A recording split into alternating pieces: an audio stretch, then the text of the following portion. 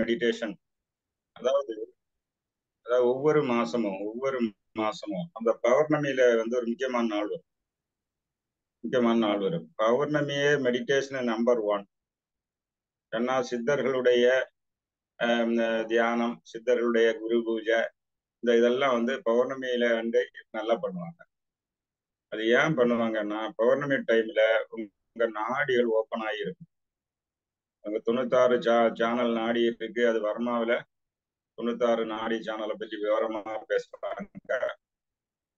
யோகாவில only பத்து நாடிகள் தான் பேசுறாங்க. நம்ம வர்மா கிளாஸ் அட்டன் பண்ணவங்க எவ்வளவு நிறைய நாடி சேனல் ஓபன் பண்ணியிருக்காங்க. என்னாலும் இதுல வந்து அமிர்த நிலை ஸ்டேஷன் ஒன்று இருக்கு. அமிர்த நிலை ஸ்டேஷன் அமிர்த நிலைன்னா உங்களுக்கு வந்து உயிர் ஆற்றல். உயிராற்றல் என்ன பண்ணோம்னா ஒரு இது முதல் நாள் அமாவாசை கழிச்ச முதல் நாள் வந்து கால் பெருவரில் இருக்கும். அடுத்தது கால் படத்துல இருக்கும். அடுத்தது கணுக்கால்ல இருக்கும். அடுத்தது முழங்கால் அடுத்தது முட்டி தொடை இப்படின்னு வந்து வந்து பௌர்ணமி அன்னைக்கு உச்சியில வரும். உச்சியில வந்தா என்னாச்சுன்னா உச்சி அப்படின்னு சொல்லும்போது ஆன்டீரியர் ஃபாண்டனெல்லே ஆன்டீரியர் ஃபாண்டனெல்லே அப்படின்னு சொல்லும்போது அந்த குழந்தை பிறக்க டைம்ல அந்த பதபதப்பு இருக்கும். சென்டல் அதுதான். அப்ப அது வந்து நம்ம வந்து பிரம்ம ரந்திரம் அது பேர் பிரம்ம ரந்திரம் அங்க ஒரு நாலு இதழ் தாமரை இருக்கிறது. நாலு இதழ் தாமரை இருக்கிறது. அதே மாதிரி இந்த நாலு இதழ் வெள்ளை வெள்ளையா இருக்கும். நிறம் கிடையாது வெள்ளை. அதே சமயம் அது அதே மாதிரி நாலு இதழ் மூலாதாரத்துல இருக்கு. அந்த மூலாதாரத்துல இருக்கக்கூடிய இது வந்து சிவப்பு கலர் அது நாலு. இந்த நாலுக்கு உள்ள எனர்ஜி வந்து பௌர்ணமி டைம்ல மூலாதாரத்துல இருக்கக்கூடிய நாலு கட்டல உள்ள எனர்ஜி பௌர்ணமி டைம்ல பிரம்மரந்திரத்துல ஆன்டீரியர் ஃபவுண்டனல்னு சொல்லக்கூடிய பிரம்மரந்திரத்துல வந்து அமையும். அதுதான் பத்தாம் வாசல். பத்தாம் வாசல் அப்படின்னு சொல்ல என்ன சொல்லுன்னா சாதாரண மனுஷனுக்கு நவ துவாரங்கள். துவாரம்னா வாசல். துவார்னா சமஸ்கிருதத்துல கதவு. நவதுவாரம் நம்ம ஓட்ட ஓட்டம் இல்ல வா- வாசல். அப்போ சாதாரண மனுஷனுக்கு ஒன்பது வாசல் தான் இருக்கும். யோகா மெடிடேஷன் சிவயோக பயிற்சியில ஈடுபடக்கூடியவங்களுக்கு வந்து இந்த பத்தாம் வாசல் திறக்கும். இந்த பத்தாம் வாசலுக்கு தான் இன்னொரு பேரு பரமபத வாசல். இந்த விஷ்ணு கோவில்ல ஏகாதசி அன்னைக்கு வைகுண்ட ஏகாதசி அன்னைக்கு இந்த பரமபத வாசல் வந்து ஓப்பன்ல இருக்கு அது வழியா எல்லாரும் போவாங்க. அதே மாதிரி நம்முடைய எண்ஜான் உடம்பு இந்த என்ஜான் உடம்புக்கு சிரசே பிரதானம் அப்படின்னு சொல்லணும் என்ஜான் உடம்பு அது வந்து இறைவன் வாழும் கோவில். திருமந்திரத்துல பல பல இடங்கள்ல சொல்லப்பட்டிருக்கிறது.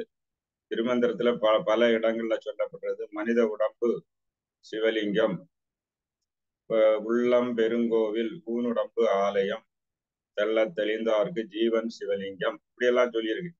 உண்மையிலேயே கோவில் கட்டுறது ஒரு மனுஷன் படுத்து இருந்துட்டு காலை நீட்டி படுத்து ரெண்டு கையை அகல வச்சுட்டு இருந்தா அந்த வடிவில தான் கோவிலே இருக்கு. சரி அப்ப அந்த கோவில் வந்து உங்களுக்கு கால் இருக்கிற இடத்துல ராஜகோபுரம். அடுத்தது வந்து இந்த விமானம் இதே அடைக்கிற இடத்துல கொடி கொப்பில் இருக்கு. இப்படி எல்லாம் பல இதுகள் இருக்கு. ஆனால் பரமபத வாசல் இந்த மனிதண்ட ஊனுடம்பு ஆலயம் அந்த ஆலயத்துல இருக்கிறது உச்சியில ஆன்டீரியர் ஃபண்டனல்லே இந்த டைம்ல பௌர்ணமி டைம்ல இந்த எனர்ஜி வந்து அங்க வந்து நல்ல ஸ்டோர் ஆகும். ஸ்டோர் ஆகுற மாத்திரம் இல்ல அந்த இறை சக்தியோடு கனெக்ஷன் ஸ்ட்ராங் ஆகும். மெடிடேஷன் சொல்லக்கூடியது மெடிடேஷன் சொல்லக்கூடியது ஒரு கம்யூனிகேஷன் அதாவது நீங்க இறைவனோடு செய்யக்கூடிய கம்யூனிகேஷன் அதை ஸ்ட்ராங்கா பண்ணா அது பேரு கம்யூனியன் கம்யூனியன் வித் காட் மெடிடேஷனா கம்யூனியன் வித் காட் அப்ப அந்த கம்யூனியன் வந்து இந்த பௌர்ணமி ஹண்ட்ரட் பர்சன்ட் அப்ப என்னாச்சு? மற்ற நாள் நீங்க வந்து பண்ணா அந்த பெர்சன்டேஜ் இது இது குறையும். நீங்க என்ன வேணாலும் மெடிடேஷன் டெய்லி பண்ணலாம். டெய்லி பண்ணா அதுக்கு ரிசல்ட்டு இப்போ ஒன்னாம் தேதி ஒன்னாம் நாள் அமாவாசை கழிஞ்சு வளர்பிறையில முத நாள் பண்ணீங்கன்னா அது ரிசல்ட் வரல ரெண்டாம் நாள் பண்ணா இன்னும் ஜாஸ்தி இருக்கும். மூணாம் நாள் இன்னும் ஜாஸ்தியா இருக்கும். அப்படி வந்து வந்து பௌர்ணமிக்கு ஃபுல் ஹண்ட்ரட் பர்சன்ட் ரிசல்ட் அதனாலதான் நம்ம வந்து இந்த இலவச பௌர்ணமி மெடிடேஷன் நம்ம வந்து இன்ட்ரடியூஸ் பண்றோம்.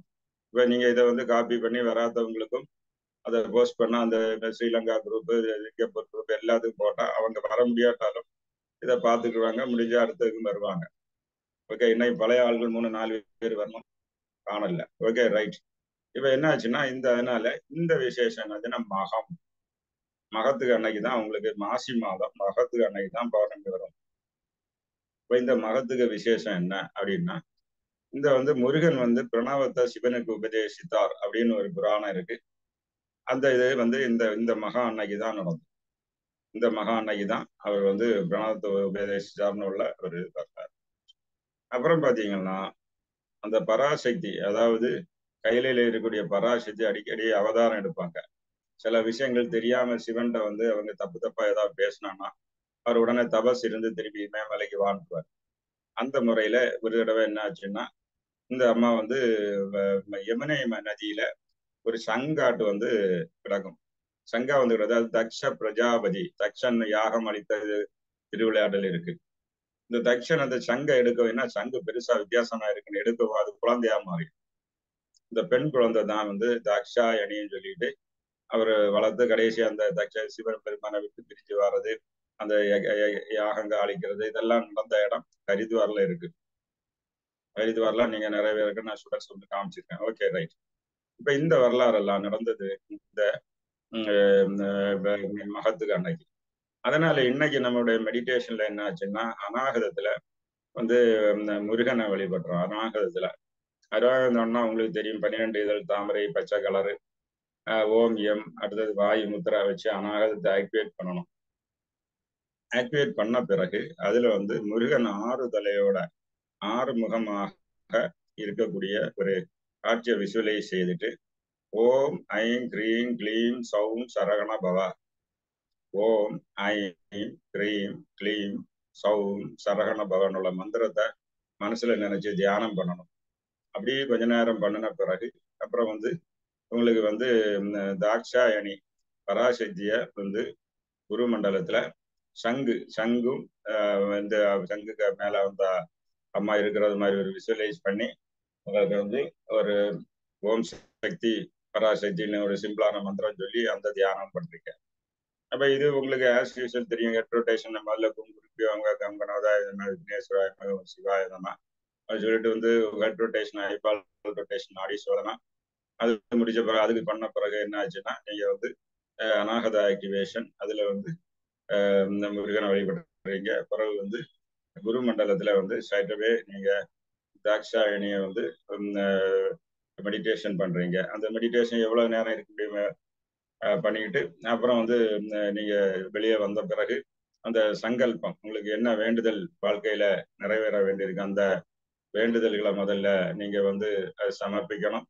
அதே பிறகு ஓம் சாந்தி சாந்தி சாந்தின்னு சொல்லிட்டு சாந்தி யோகம் பண்ணணும். அப்புறம் வந்து எலும்பு கை கொண்டு உடல் எல்லாம் இது பண்ணி டச் பண்ணி அதுக்கு பிறகு அந்த இதுலேருந்து நீங்க வெளியே வந்துக்கலாம். ஓகே இதுதான் இதோடைய விசேஷம். இது ஸ்டார்ட் பண்ணுங்க.